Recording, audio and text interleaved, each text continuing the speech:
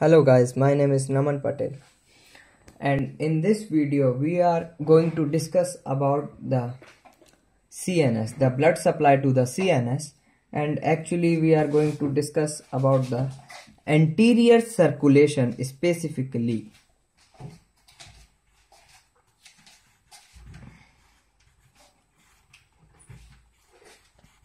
Anterior circulation of the CNS, right? And it is also known as the carotid circulation of the CNS.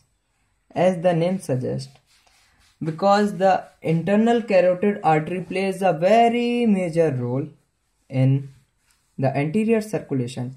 Actually see for the condition right here is that the internal carotid artery which is a branch of common carotid artery and common carotid artery is actually arising from the aortic arch.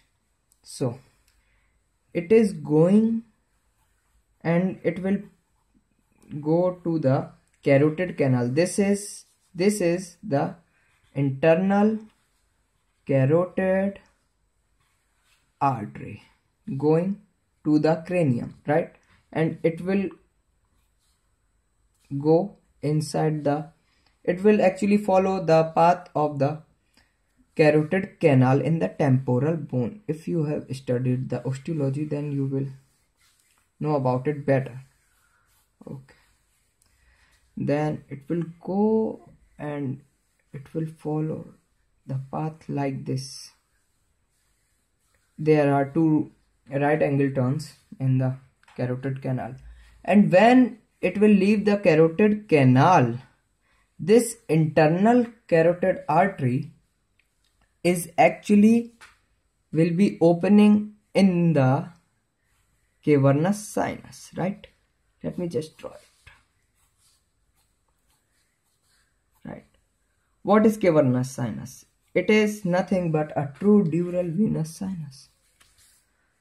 And it is an exception that it is an exception that internal carotid artery is passing from this venous sinus.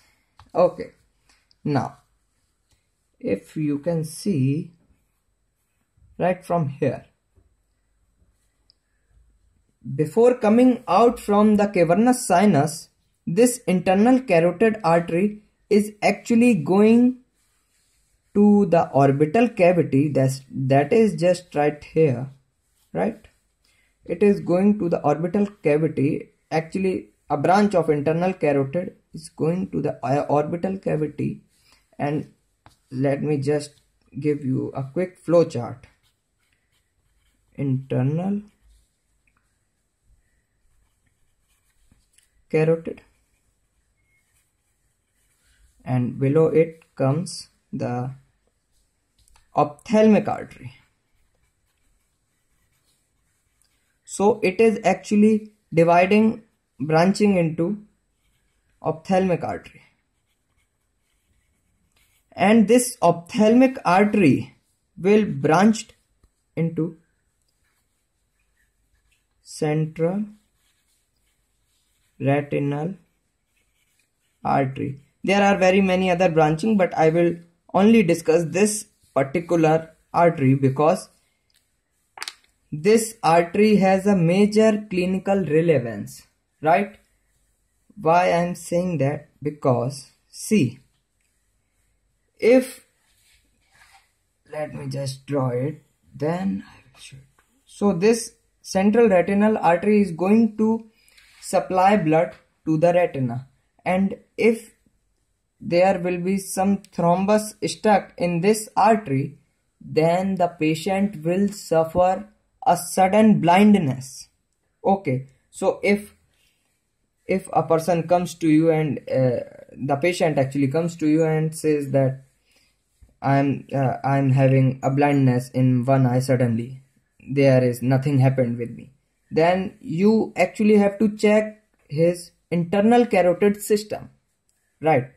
Now going forward from this cavernous sinus this internal carotid artery is going is popping out like this right and two small branches one is posterior communicating artery.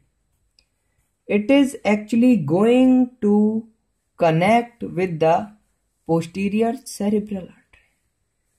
Right? Don't confuse with both PCA. Right? Both are PCA. Posterior cerebral artery and posterior communicating artery. Let me just jot down that it is communicating. So it is actually going this posterior communicating artery is going to join with the posterior cerebral artery.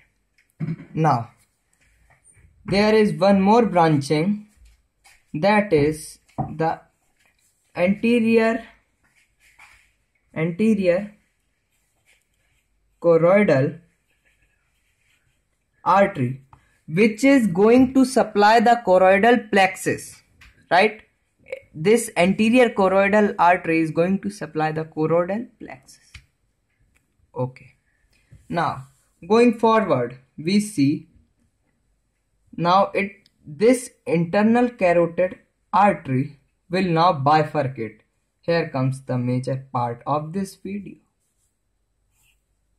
It will branch like this right? This. And this and will no.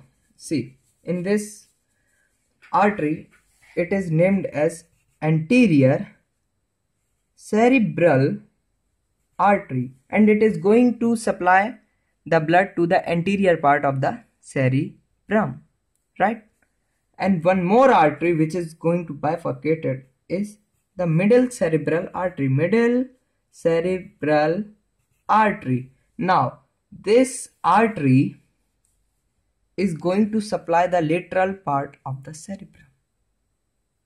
Few more facts about this is that this whole story, this whole story is going in, uh, this whole story is actually happening in the subarachnoid space of the brain right?